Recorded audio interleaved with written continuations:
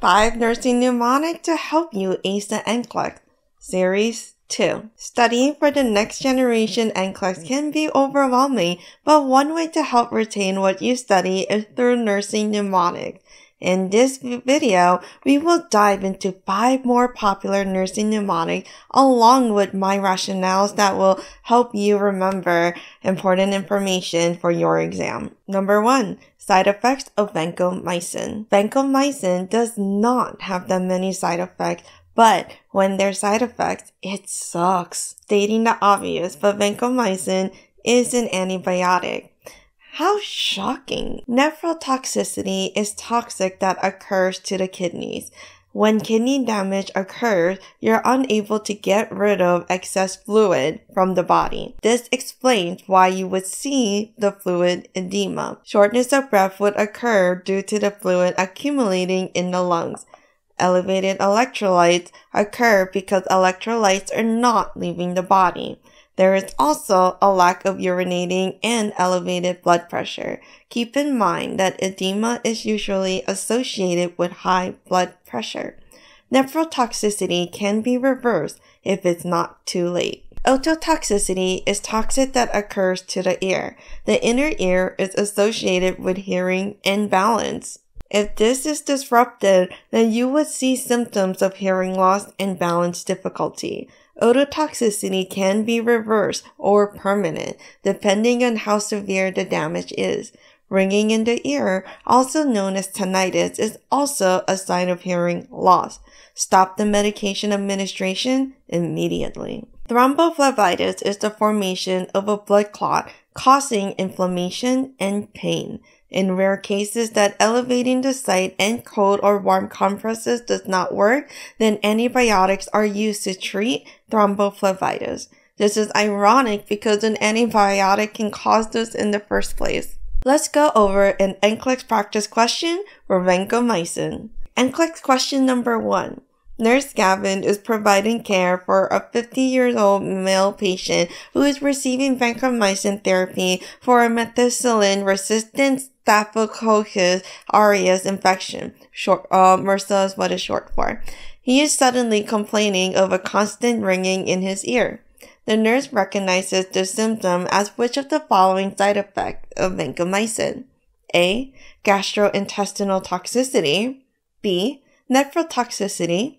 C. Thrombophlebitis. Or D. Ototoxicity. The correct answer is D. Ototoxicity. Rationale.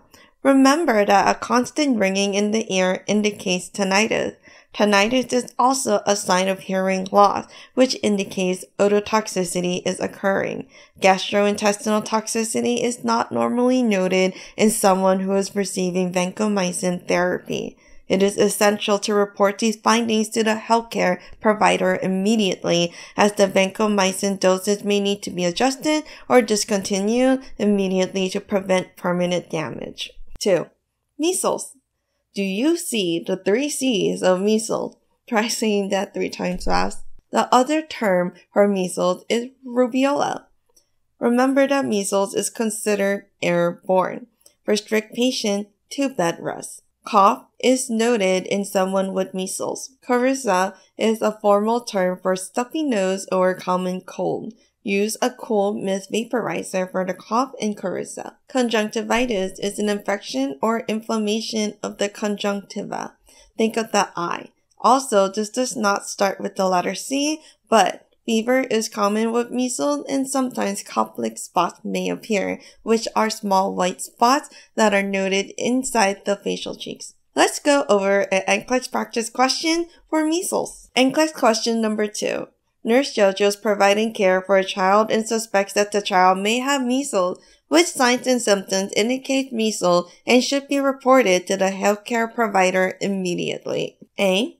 Coryza, conjunctivitis, and fever. B. Cough and headache.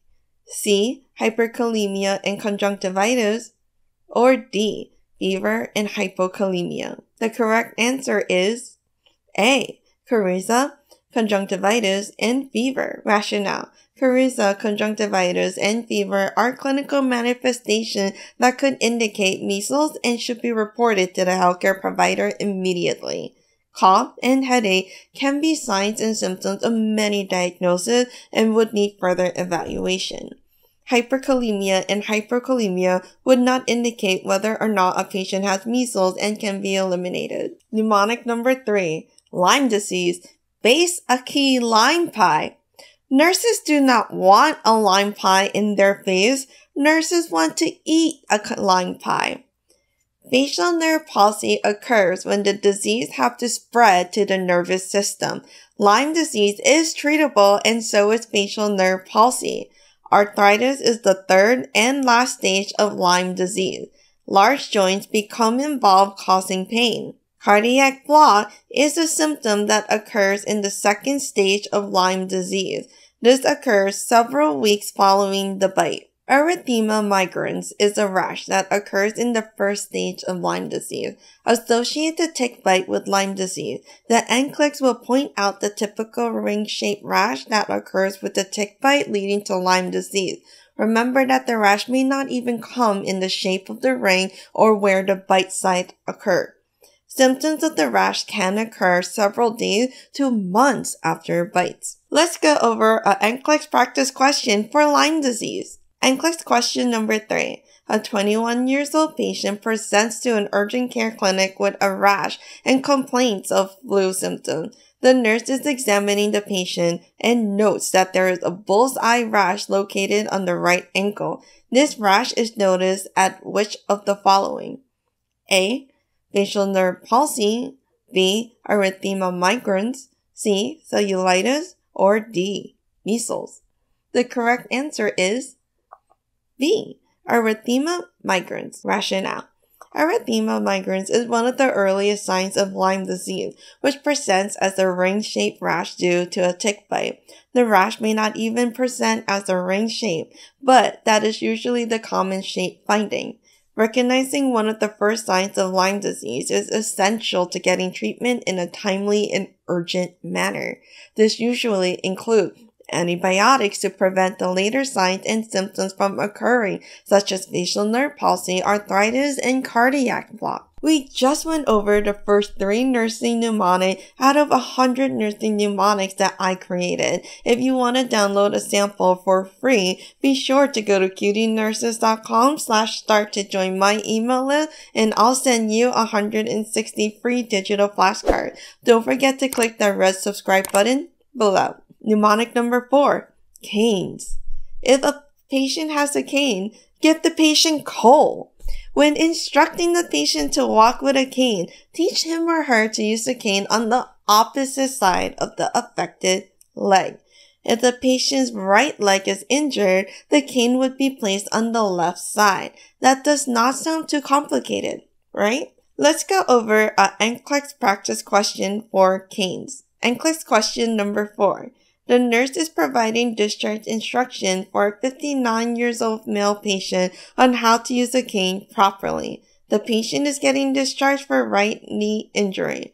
For safety measures, the patient should be advised on which of the following. A. Hold the cane in the right hand and move the right leg simultaneously. B. Hold the cane in the left hand and move the left leg simultaneously. C. Hold the cane in the right hand and move the left leg simultaneously. Or D.